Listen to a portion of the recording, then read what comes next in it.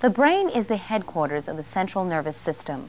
More than 10 billion cells transmit messages to and from all parts of the body. The brain controls every thought and most movement. Although it makes up only 2% of your body weight, it consumes 20% of the energy produced. This range of bulges, collectively called the brainstem, forms the central core of the brain. The medulla oblongata is the lowest part of the brain stem and serves as a site of connection between the brain and the spinal cord.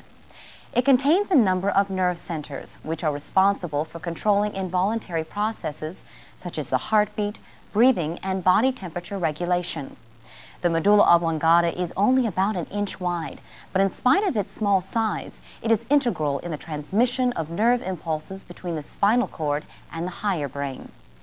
At the front of the brainstem, just above the medulla oblongata, is a band of nerve fibers called the pons. The pons is responsible for serving as a bridge between the left and the right halves of the cerebellum. It also facilitates communication between the cerebrum, the cerebellum, and the medulla oblongata.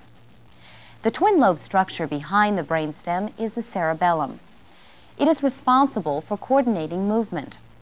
It does this by receiving nerve impulses from all over the body, such as the balance and equilibrium centers in your inner ear, and adjusts and fine-tunes these actions by passing the regulating signals to the motor neurons of the brain and spinal cord.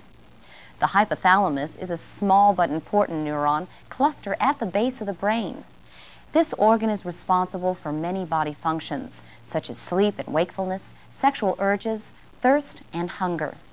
It also controls endocrine activity by regulating the work of the pituitary gland and plays an important role in the emotions of pain and pleasure.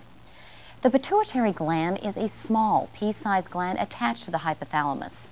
This gland secretes hormones which regulate other endocrine glands, controlling growth, reproduction, and numerous metabolic processes.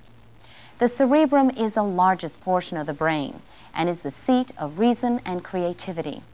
It is descriptively divided into four sections or lobes, the frontal lobe, the occipital lobe, the parietal lobe, and the temporal lobe. The occipital lobe is the lower portion of the cerebrum, located near the occipital bone of the skull. It contains the centers responsible for sight.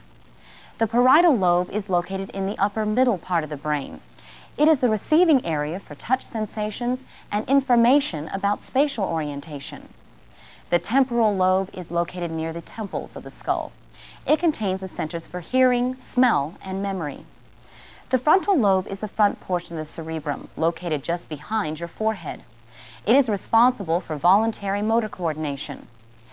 It houses control centers for muscular control of the body and for coordinated rhythmical movements of the head and throat, such as chewing, licking, and swallowing. The frontal lobe also contains the higher thought processing centers of memory, reasoning, and associative conceptualizing. Some researchers also theorize that the essence of personality is located here.